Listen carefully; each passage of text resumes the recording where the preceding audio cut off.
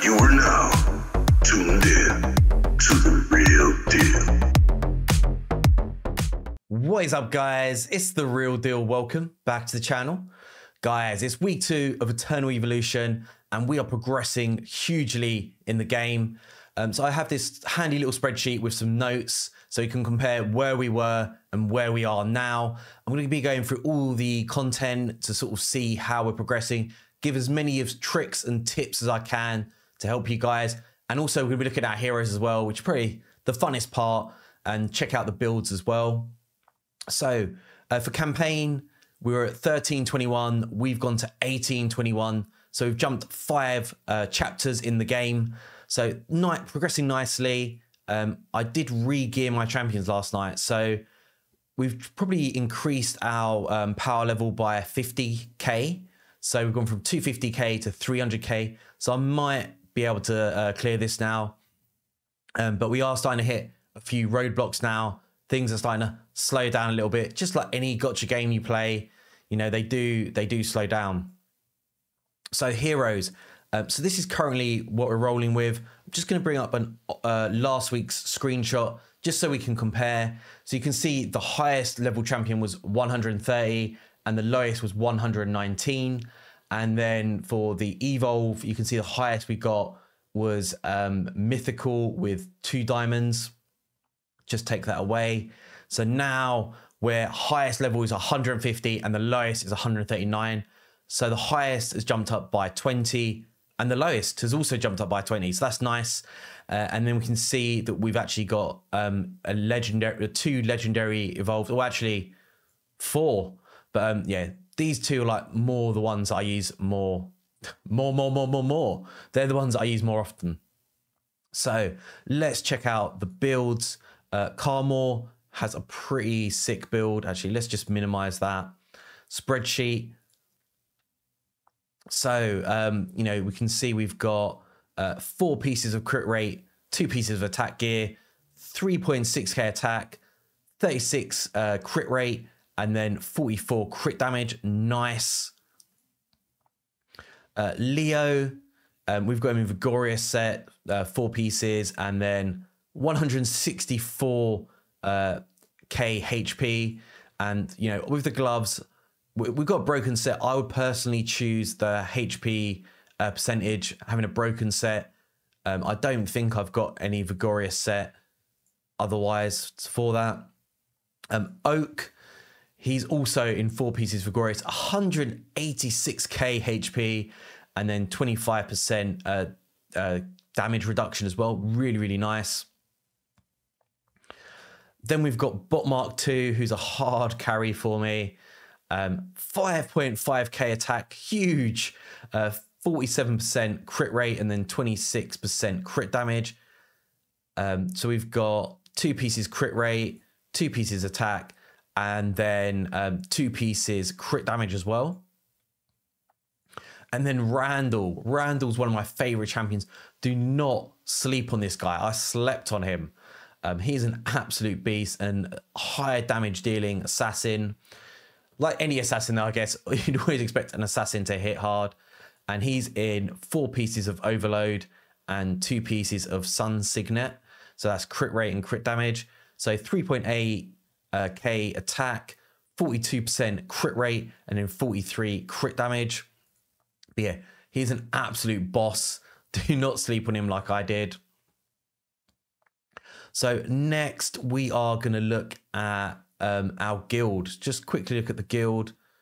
Um, so for the guild, um, you know, this is a new server. Um, so we're the highest ranked server uh, guild on the server, and we're only level three. So level four coming soon. Uh, but the guild technology opened up for me, and this is huge. This is massively going to bump up stats on our heroes. First off, I started off with uh, tanks because um, obviously they're going to be taking all the damage. They're going to be up front. So want them to have some decent survivability. So taking HP, uh, taking defense, and we should also be taking um, crit damage reduction as well. That's going to help us a lot. They don't need attack. They don't really need uh, crit damage. so You can avoid that for now. Uh, Vanguard, because I've got a Leo, I should focus on this a little bit more. Um, take away, he doesn't need attack, he just needs defense and HP. Um, then like assassins, hunters, uh, energy champions would be like the next ones I focus on. And for them, we want to be taking um, attack and crit damage. Again, this is massively going to bump up our damage, but probably focus on attack a little bit more for now, just because uh, we're not going to have like a 100% crit rate. So the crit damage isn't going to benefit us as much as attack, where we're quite a low level account. Take a little bit of HP as well, because we need that survivability. You know, um, no damage dealer's good. Your nukes can't do anything if they're dead. So yeah, give them a little bit of survivability. Uh, but yeah, nothing else going in the shop. If we come back, uh, command post, not much has actually happened here. And we had three uh, mythical uh, commanders. Now we've got a whole bunch more. But other than that, it's not like a huge level of progression. It is nice to have dupes though, because um, obviously we can use that for arena and also um, other content where you need more than one team. And then the prototypes. So prototypes have jumped up massively. Um, I think we only had like, let's see. So here, I think we only had like one epic. So now we've got four epics and a myth, uh, epics elite. So I'm so used to where in other games, purple's epics. Uh, so yeah, we've got four elites now, uh, one mythical, uh, and this has jumped up from one rare to two um, elites as well. And then we've got a mythical here from one rare as well. So that's really nice. Starting to pad that out a little bit. But everything else is pretty much the same.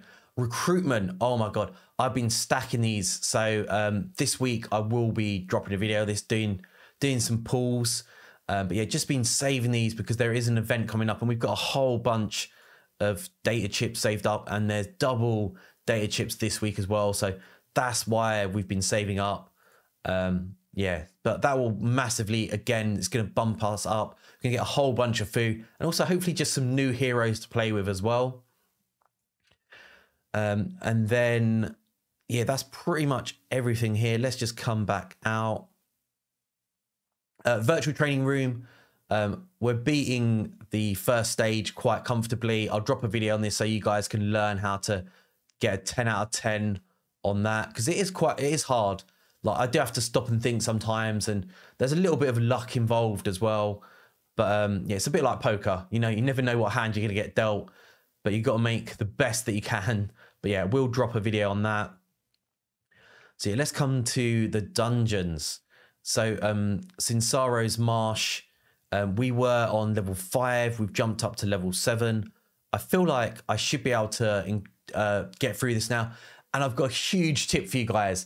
This is like the biggest tip that I had like in a real epiphany last night. So um, in other games I play, your heroes, when you put gear on them, it's fixed. And you put gear on them and it's you just it just stays there. You can't do anything with it. In this game, there's the freedom of being able to just swap gear. So what I would do so let's just go back to our heroes. Is so Carmore, he's not the best built champion um, on the account, bot mark two, but say pretend it's bot mark two. I would unquip all this gear, go onto another champion. So for Sin um, Cinsaro's Marsh, you need energy champions. So I'd probably bring in two energy champions and what, or maybe even three if you want. But yeah, and basically unquipped all the gear on these champions, on my damage dealers onto energy champion, unquipped all their gear, and then just auto equipped, and then go into Cinsaro's Marsh. And yeah, and then you should be able to progress a lot faster. I wish I thought of that sooner because that is just a huge way to progress a lot faster in the early game because obviously you're sort of limited to the gear that you have on your account. So that would definitely help speed things up a lot. Um, and yeah, I just can't believe I didn't think of it sooner. Um, so Dessa's cave, or sorry, Disa's cave, sorry. We've gone from stage six to eight, so not massive progression. But this is the dungeon that I want to focus on the most uh, because it's where you can get gear from.